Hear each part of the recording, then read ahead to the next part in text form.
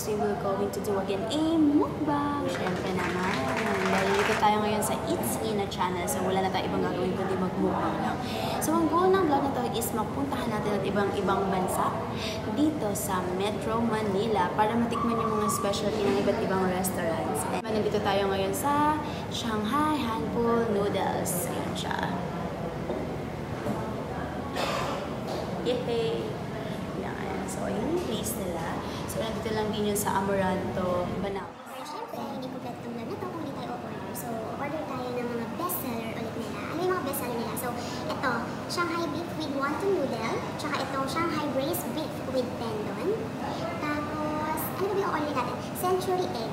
Century egg para sa appetizer. Tapos, order din tayo ng fried shrimp dumplings. Steamed shrimp dumplings. Ito ata yung bestseller nila. So, tikman natin lahat to. And syempre, kailangan ko ng kanin. Hindi ako mabubuhay na walang kanin. So, order din tayo ng beef chow fan.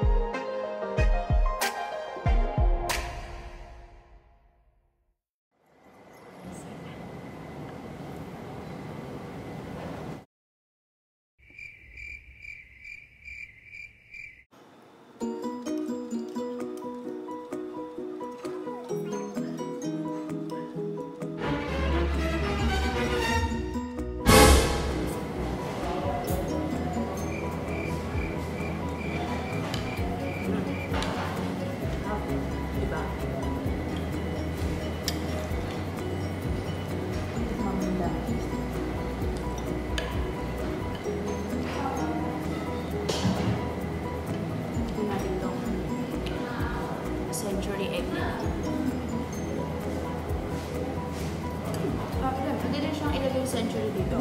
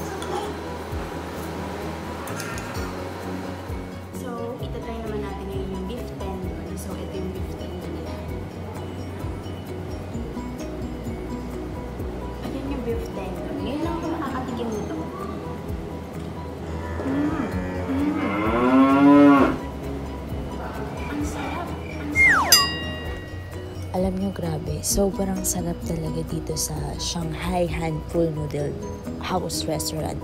As in talaga, as in yung pahito, sabaw, yung noodles, lahat ng hinahanap nyo guys, nandito na talaga. And promise, super mura niya. Super deserve nyo yung price niya sa laki ng servings nila. As in, pero yan, tikman muna natin yung dumplings. Ang sarap din yan. Hindi ako milig sa dumplings kasi yung amoy hindi ko bet. Pero ngayon, super favorite ko na siya. And super mura niya, 14 pieces for only 210 pesos. Solid. Ang sarap. Kaya syempre, kain lang ng kain, di ba? Pero, ano yan, te? Ba't may ganyan, te? Kumakain tayo, te, di ba? Ano yan? Okay, commercial lang yun syempre. Syempre walang forever sa mga ganyan. May forever sa pagkain. Kaya tuloy ang lafang. Stay! So,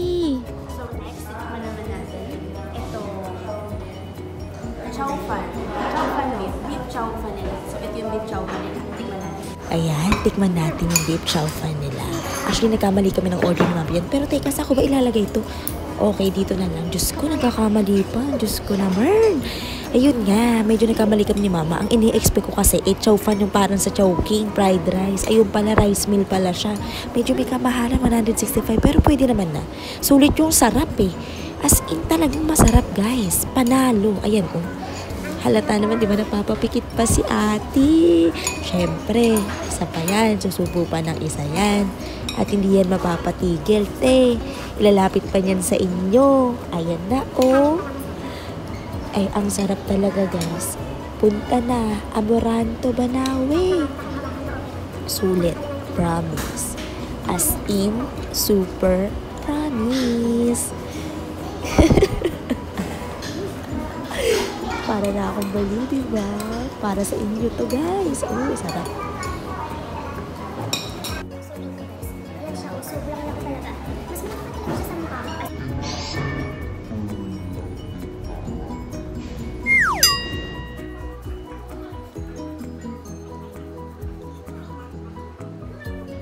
Yan ang emotions. Hanip na hanip, diba? Sobrang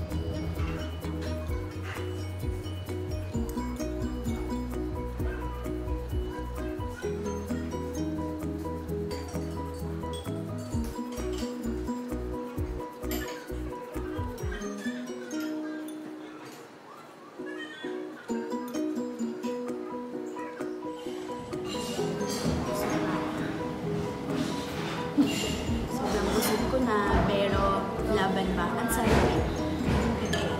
Diba? Siyempre, minsan lang.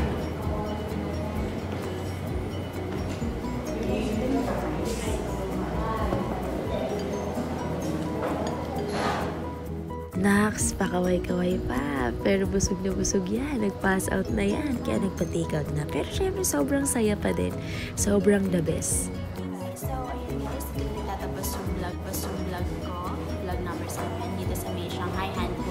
Noodles. At sana na-enjoy niyo tong vlog ko na to. And ako super na-enjoy ko kasi super sarap talaga ng food. As in talaga, sobrang sarap. As in talaga. As in, as in. guys, punta kayo dito, i-try niyo talaga. Hindi kayo masisisi.